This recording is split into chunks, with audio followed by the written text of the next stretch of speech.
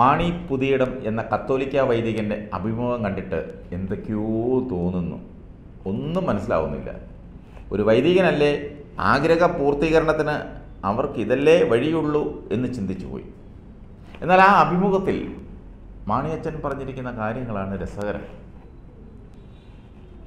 ജോസിനെ അതായത് K M മാണിയുടെ മകനെ ഇടതു മുന്നണിയിലേക്ക് പോകരുതെന്ന് പലവട്ടം നിർദ്ദേശിച്ചിട്ടും അയാളത് കേൾക്കാതെ പോയതിലെ ദുഃഖമാണ് മാണിയച്ചന്റെ അഭിമുഖത്തിൽ പൊട്ടിയൊലിച്ചത്. ഇത് പറയാൻ ഒരു പുരോഹിതന് എന്ത് അവകാശം ഒരു സഭയിൽ ഒരു വൈദികനെ പോകട്ടെ ഒരു കപ്പ്യാരെയെങ്കിലും മാറ്റി നിയമിക്കണമെന്ന് ഏതെങ്കിലും ഒരു രാഷ്ട്രീയക്കാരൻ പറഞ്ഞാൽ അത് നിങ്ങളൊക്കെ കേൾക്കുമോ നിങ്ങളുടെ കാര്യത്തിൽ ആരും ഇടപെടരുത്. എല്ലാ രാഷ്ട്രീയ പാർട്ടികളുടെയും ആഭ്യന്തര കാര്യത്തിൽ നിങ്ങൾ കൈകടത്തി ഇളക്കിക്കൊണ്ടിരിക്കും. അതങ്ങ് പള്ളിയിൽ തന്നെ പറഞ്ഞാൽ മതി. സമുദായത്തിന്റെ ശക്തിയാണ് ജോസ് കളഞ്ഞു കുളിച്ചതെന്നാണ് മാണിക്കത്തനാർ ഇരുന്ന് മോങ്ങുന്നത്. ഇതേ സമുദായ ആചാര്യന്മാർ എവിടെയായിരുന്നു? പി ടി ചാക്കോയെ ആർ ശങ്കർ വലിച്ചു കീറി പോസ്റ്റൊട്ടിച്ചപ്പോൾ അന്ന് ചാക്കോയുടെ കൂടെ ഉണ്ടായിരുന്നത് ഭാര്യയല്ല എന്ന് പറഞ്ഞ് ആദ്യം വാർത്ത നൽകിയത് വടക്കനച്ഛന്റെ തൊഴിലാളി പത്രികയല്ലേ? അതൊക്കെ പോട്ടെ. ഏറ്റവും ഒടുവിൽ കോൺഗ്രസ്സുകാർ കെ എം മാണിയെ പിച്ച് ചീന്തിയപ്പോൾ കെ എം മാണി രാജിവെക്കണമെന്ന് ആദ്യം പ്രസ്താവന ഇറക്കിയത് ഒരു കത്തോലിക്ക മെത്രാനല്ലേ? അദ്ദേഹം അത്ര പുണ്യവാളനൊന്നുമല്ലായിരുന്നുവല്ലോ. വനത്തിനുള്ളിൽ പാറമടകൾ നടത്തുന്ന ഈ വിദ്വാന്റെ പേരിൽ ഫോറസ്റ്റ് സ്റ്റേഷൻ ആക്രമിച്ചു ആക്രമിച്ചുവെന്ന കേസ് കെ എം മാണി കൊടുത്തതൊന്നുമല്ല. ഒടുവിൽ അതിൽ നിന്നും മെത്രാനെയും കൂടെയുള്ള വൈദികരെയും കന്യാസ്ത്രീകളെയും ഉൾപ്പെടെ ഊരിയെടുത്തത് ഇതേ കെ എം മണി തന്നെയല്ലേ? തൊണ്ണൂറുകളിൽ ദീപികയുടെ പാലാരിവട്ടം ഓഫീസ് ചിലർ ആക്രമിച്ച കേസ്. പിന്നീട് ദീപികയുടെ എം ഡി ആയി വന്ന ഈ മാണിയച്ഛന് ഓർമ്മയുണ്ടോ എന്നറിയില്ല. അക്രമികളുടെ വീട്ടിൽ കയറി അവന്റെയൊക്കെ കുതികാൽ വെട്ടുമെന്ന് പറഞ്ഞ് ദീപികയിൽ ഉത്തരവാദിത്തപ്പെട്ടവരുടെ പേരിൽ ജേക്കബ് തോമസ് കൊച്ചി കമ്മീഷണറായിരിക്കുന്ന കാലത്ത് ഒരു കേസ് എടുത്തിരുന്നത് ആരോടെങ്കിലും ചോദിച്ചാൽ പറഞ്ഞു തരും. അതിൽ പത്രപ്രവർത്തകർ ആരും പ്രതിയായി ഉണ്ടാകാൻ പാടില്ല എന്ന് പോലീസിന് നിർദ്ദേശം കൊടുത്തവന്റെ പേരും കെ എം മാണി എന്നായിരുന്നു. ക്രൈസ്തവ സഭകളിലെ വൈദികരുടെയും വൈദിക ശ്രേഷ്ഠരുടെയും ഒരു കുഴപ്പം. ആരാന്റെ കണ്ണിലെ കരട് കാണും അവനവന്റെ കണ്ണിലെ തടി കാണില്ല. അതുതന്നെയാണ് സഭയുടെ വക്താക്കളാണെന്ന് പറഞ്ഞ് കൂടെ കൊണ്ട് നടക്കുകയും അവരുടെ പ്രശ്നങ്ങൾ കുരങ്ങൻ അപ്പം പങ്കുവച്ചതുപോലെ ഇടപെടുകയും ചെയ്തിട്ട് കൂറ് കോൺഗ്രസ്സുകാരോട് കാണിക്കുന്ന പണിയാണ് കത്തോലിക്ക ശ്രേഷ്ഠന്മാർ ചെയ്യുന്നത്. കഴിഞ്ഞ നിയമസഭാ തെരഞ്ഞെടുപ്പിൽ ജാതി പറഞ്ഞ് തന്നെ വാസവനെതിരെ വോട്ട് പിടിക്കാൻ ഇറങ്ങിയ ഈ മാണി കത്നാർ ഇടതുമുന്നണി വീണ്ടും അധികാരത്തിലെത്തി വാസവൻ മന്ത്രിയായി എന്നറിഞ്ഞപ്പോൾ കാണിച്ചത് എല്ലാവരും കണ്ടതാണ് ആ തരികിട നാടകം. തന്നെക്കാൾ പത്ത് വയസ്സിനെങ്കിലും എളുപ്പമുള്ളയാളെ വാസവൻ ചേട്ടോ എന്നൊക്കെ വിളിച്ച് ആദ്യം അഭിനന്ദിച്ചതും ആദ്യം സ്വീകരണം കൊടുത്തതും ഇതേ മാണിക്കത്തനാരാണെന്ന് ഞാൻ ഓർമ്മപ്പെടുത്തണ്ട. കൊറോണ വന്നിട്ടും പള്ളിയിൽ പെരുന്നാൾ മുടങ്ങാതിരുന്നത് ഈ വാസവൻ ചേട്ടൻ കാരണമാണെന്ന് പുകഴ്ത്തി നടന്നതും ഈ കത്തനാർ തന്നെയാണ്.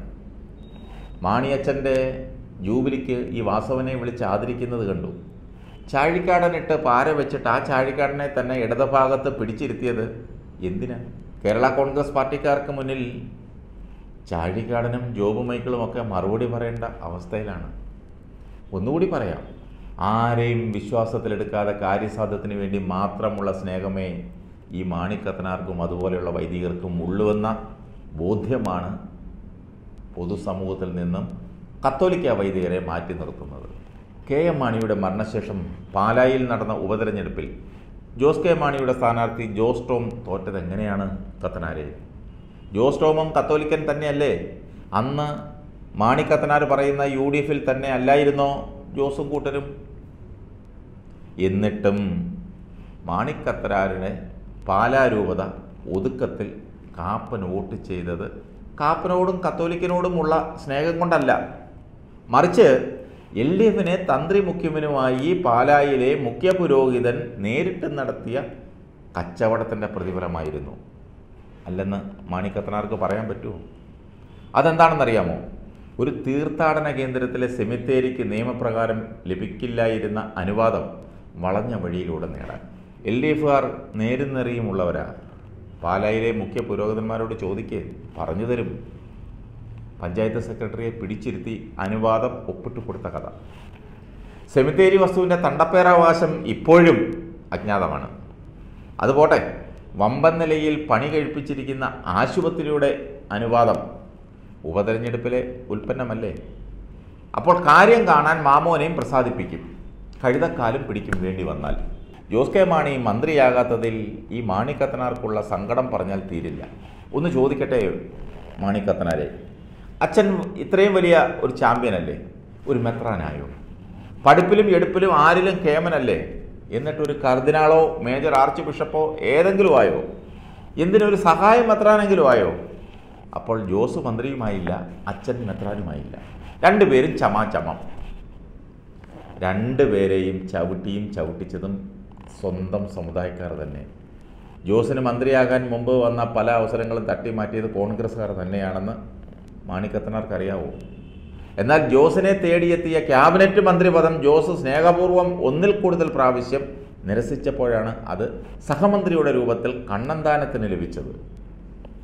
അതുകൊണ്ട് തന്നെ ജോസിന് മന്ത്രിസ്ഥാനം ഈ തമിഴന്മാർ രോമത്തിന് പറയുന്നത് പോലെയാണ്.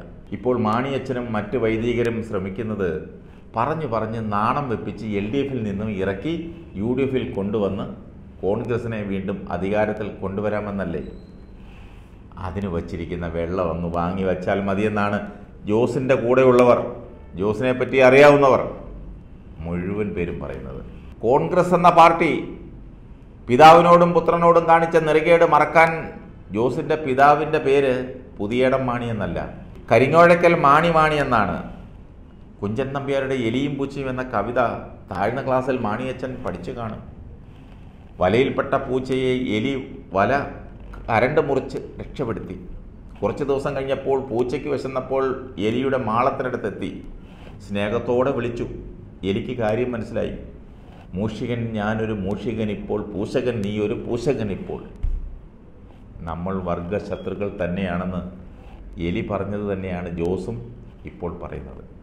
വളർത്താനല്ല കൊല്ലാനാണ് തിരിച്ചു വിളിക്കുന്നതെന്ന തിരിച്ചറിവ് ജോസിനുണ്ട്.